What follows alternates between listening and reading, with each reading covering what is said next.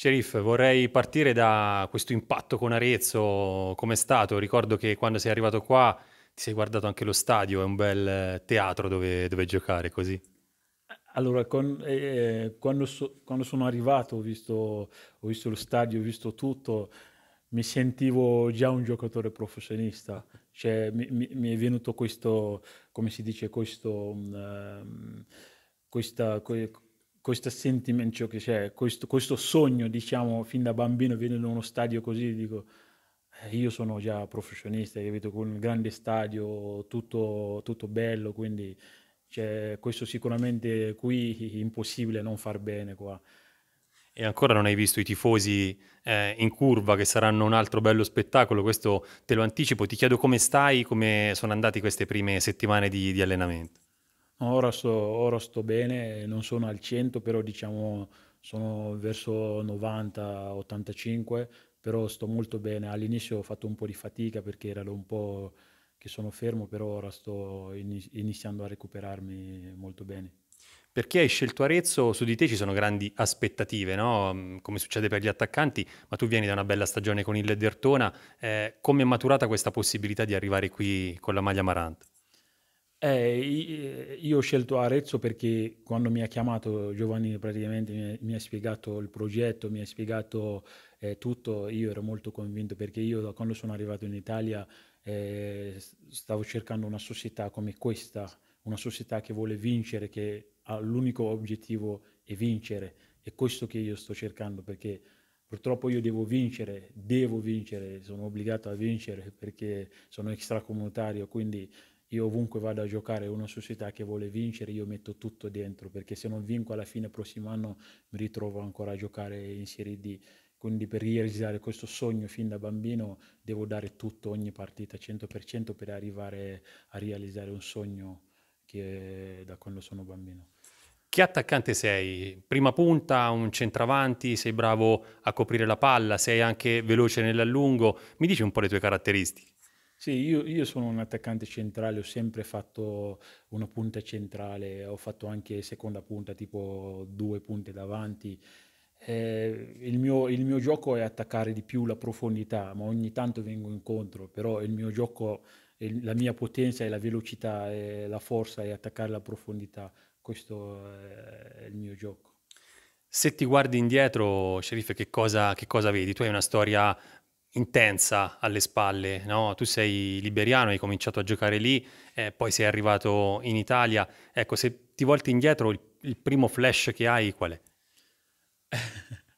Eh, questa domanda è difficile, non te lo so dire, però qua- quando io, se mi guardo indietro, eh, penso a tutto quello che ho lasciato indietro, eh, perché io da, da piccolo non è come qua, non avevo le, le- scarpe da giocare, a volte giocavo scalzo, in Africa senza pallone, mettevamo i plastiche insieme, tutto mettiamo come pallone, giochiamo. Quindi se mi guardo indietro, questa passione che che ho, ho avuto fin da bambino, eh, la sofferenza, eh, la fame, quindi questa cosa, penso a questo, io ogni partita mi viene in testa, vado a, a mille.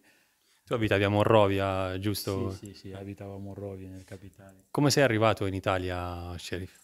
E io sono arrivato in Italia attraverso un viaggio dell'inferno, noi lo chiamiamo così, eh, da Liberia ho attraversato Mali, Niger, arrivando a Algeria dove sono stato quasi un anno e da lì sono andato in Libia dove sono stato ancora un altro anno prima di arrivare qua, perché sono partito dal 2014.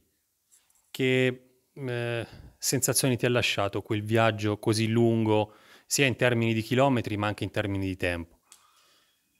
Uh, allora, il, il viaggio è durato due anni non perché è lungo due anni, è perché io quando sono arrivato in Algeria lì devo fermarmi per uh, lavorare, ho fatto diversi lavori, ho fatto muratore, ho fatto il contadino per guadagnarmi un po' di soldi, per uh, avere il, il mio uh, trasporto, per ancora continuare il mio viaggio. E da Algeria lì dopo quasi un anno e sono andato in Libia, arrivando lì ancora quando non hai soldi e lì ancora de- devo fare un altro lavoro, qualsiasi lavoro mi offrono, muratore, eh, contadino, io lavoro per avere questi soldi, eh, da parte usare per mangiare, dalla parte pagare il mio viaggio per entrare in Italia. Hai mai avuto paura di non farcela, di non arrivare? Eh... Sì, sì, sì. La terza volta che sono stato in, in prigione, eh, quando mi hanno catturato dentro l'oceano. In lì, Libia? Sì, sì, in Libia. E lì ho avuto paura, molta paura che ho detto adesso in questa prigione o, o entro in Italia o muoio qua perché avevo visto uh, tante cose brutte, c'erano persone dentro quel prigione eh, da Guinea, da tanti paesi diversi che sono stato in quel prigione lì per due anni, un anno, tre anni, però io sono stato, diciamo, io sono stato fortunato perché quando sono arrivato lì in quel prigione dopo un mese, due mesi è venuto un libico mm, che cercava dei lavoratori mi ha preso dentro quel prigione, ho lavorato per lui per diversi mesi, mi ha pagato e poi da lì eh, era il mio, il mio l'ultimo uh, diciamo chance che dico ora entro in Italia o se vengono a catturarmi io mi butto dentro l'acqua perché non voglio più tornare indietro in, in prigione, capito? Però per fortuna eh, con l'ultimo viaggio lì eh, siamo arrivati eh, a Lampedusa dove è venuto la Moassa, non era la, la Moassa, era così che salvavano la gente, eh, ci hanno salvati, però avevamo avuto 21 morti. Sì. Ecco, è un ricordo, un ricordo, credo che ti resterà addosso no? per, per tutta la vita. È un ricordo che, che, io non dimenticherò mai nella mia vita, non serve che lo scrivo perché eh, ho visto delle cose che io non dimentico mai. Quindi... Quando sei arrivato in Italia, Sheriff ti ha salvato il pallone, ti ha salvato Vittoria, che poi pochi mesi fa è diventata tua moglie, italianissima Vittoria. Sì, sì, sì, giusto, giusto. È, lei che mi ha chiamato la vita, praticamente non è il calcio, perché appena arrivato non pensavo a giocare, pensavo a sistemarmi un po' la testa, a dimenticare quello che ho passato. Eh, poi ho trovato l'amore, lei mi, mi, aiuta di più, mi fa anche il mental coach, mi, mi, mi dà la forza, diciamo, perché a volte anche l'anno scorso quando giocavo, quando non faccio gol vengo a casa, arrivo a casa incazzato e matto e lei mi dà un po' la motivation, il giorno dopo vado in allenamento molto più carico.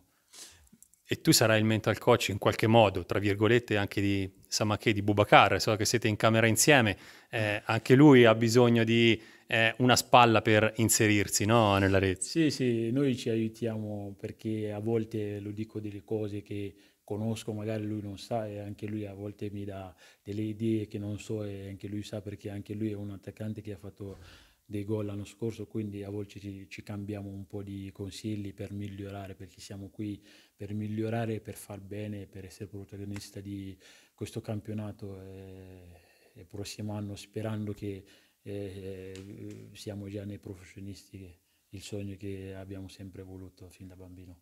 Ti chiamano lo sceriffo e sei arrivato anche a toccare la nazionale, giusto? Hai avuto le, la convocazione con, con, la Liberia. Sì, sì, sì, quest'anno ho fatto tre presenze in nazionale, eh, era contro Benin, Burundi e Sierra Leone. Eh, sì, è stata una, una, emozione grande, una grandissima emozione. In bocca al lupo, Sheriff. Crepi, crepi, grazie mille.